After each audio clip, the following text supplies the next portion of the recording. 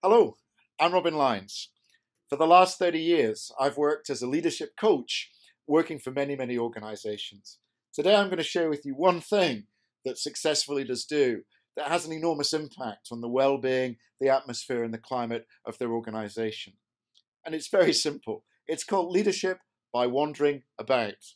Yes, get this the idea of getting away from your desk, away from your laptop, switching your phone off, getting up and about and talking to your people.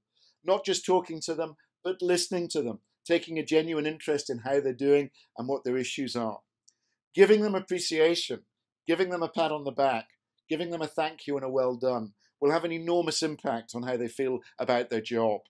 And talk to everybody in the organization, not just the sales guys, but the operations, the back office, and people that work remotely too. Don't underestimate the value that this could have.